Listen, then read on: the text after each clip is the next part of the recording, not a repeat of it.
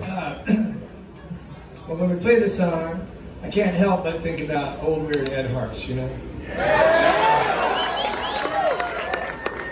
And, because uh, Ed was such a beautiful cat, and we loved him so much, you know? I'm going to tell you a little story about Ed, all right? So, Ed joins the Black Crowes in January of 1991. We were on tour with ZZ Top. Not Blackberry Smoke, they have the same beards, but different band.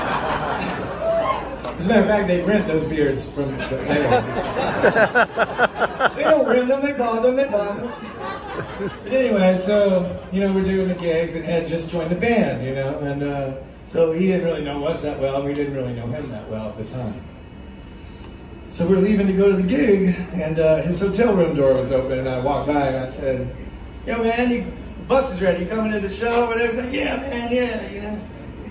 And I walk in his room, and he's got the, I hear the water running in the bathroom.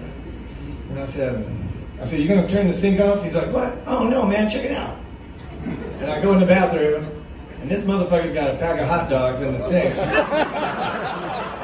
With fucking hot water running on it. He's got buns and mustard and shit in there. I said, what the doing? He's like, oh, I'm gonna eat these motherfuckers when I get back. They'll be perfectly cooked, you know. And, uh, I said, you know, we order food I'm sure. He's like, no, I'm gonna eat these hot dogs. You know? That's Ed Harsch, man. Yeah. This is something called Descending.